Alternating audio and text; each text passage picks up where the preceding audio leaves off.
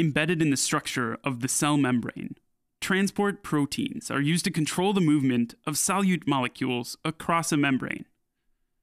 Transport proteins are specifically tailored to certain types of solutes that can only move those molecules down a concentration gradient from an area of high concentration to an area of low concentration.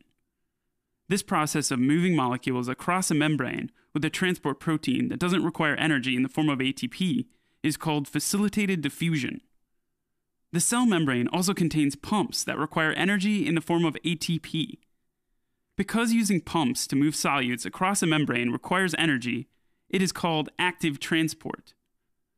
While facilitated diffusion is able to move solute molecules across membranes without energy, active transport is a way that molecules can be moved against a concentration gradient, from an area of low concentration to an area of high concentration.